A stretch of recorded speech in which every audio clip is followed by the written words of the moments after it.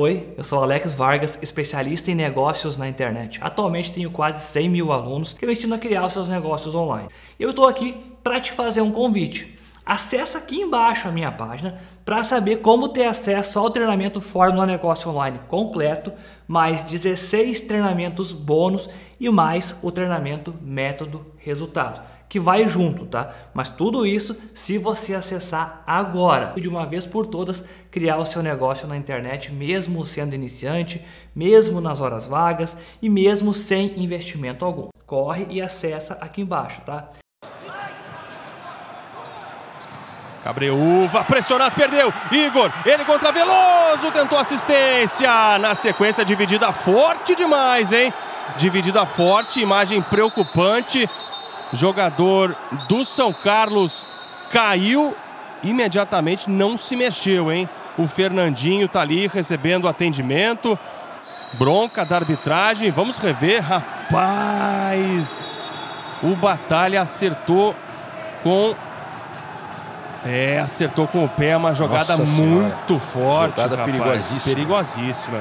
Acertou em cheio o Fernandinho. Imagem assustadora, Marcelo. Imagem assustadora.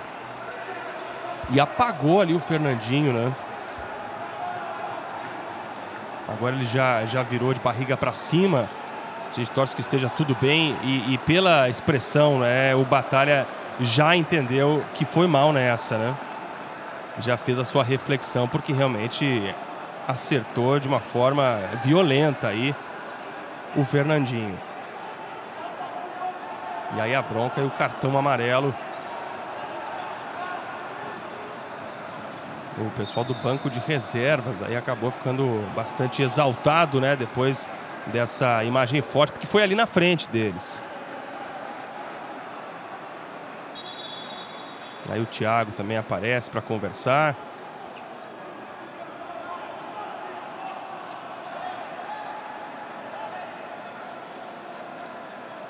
A gente vai confirmar aí se tivemos mais do que um cartão amarelo e torce nesse momento, né? Acima de tudo, que o Fernandinho é, esteja bem aí, que tenha sido só um susto, né? E foi um susto e tanto, né? A imagem é muito forte.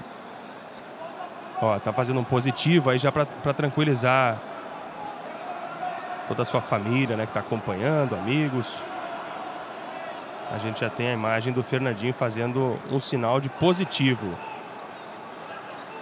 Mas foi assustador, rapaz, porque o choque muito forte foi atingido é, no a minha rosto, preocupação é com o Fernandinho, né? O, o, Batalha vem muito forte, chuta a bola, mas deixa o pé também, né? É. é a sequência do movimento ali.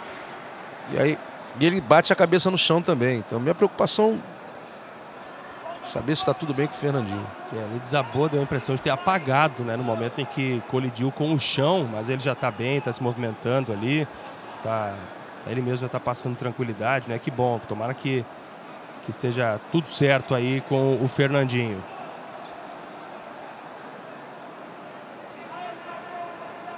Márcio. Diga, Fabrício. O Fernandinho, inclusive, está conversando aqui com o departamento médico do Corinthians e de São Carlos, explicando o que ele está sentindo. Durante a confusão, o Arnon, camisa 19 do São Carlos, levou cartão amarelo também, por conta de reclamação. E a reclamação aqui dos jogadores do São Carlos é muito grande, porque eles queriam um cartão vermelho o Batalha, tanto a comissão técnica quanto os jogadores estão revoltados porque queriam um cartão vermelho para o Batalha nessa jogada. Mas cabe cartão vermelho sim, cabe cartão vermelho.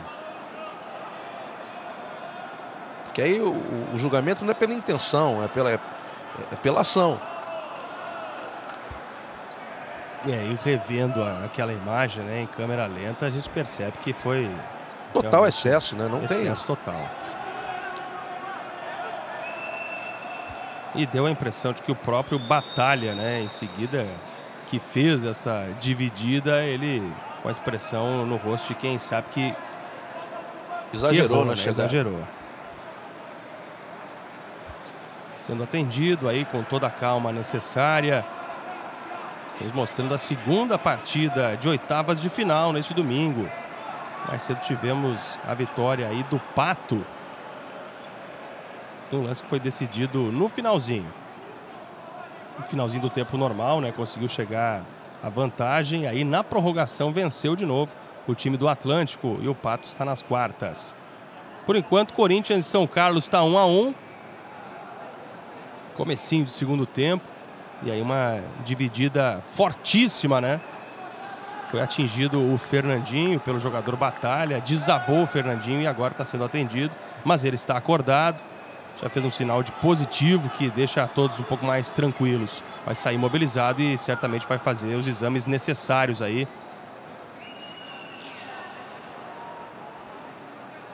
Atenção total para o Fernandinho, para a saúde do jogador. Nesse momento aí, as duas comissões técnicas, né, estão prestando atenção aí e prontamente todos querendo saber como é que está o Fernandinho, querendo ajudar.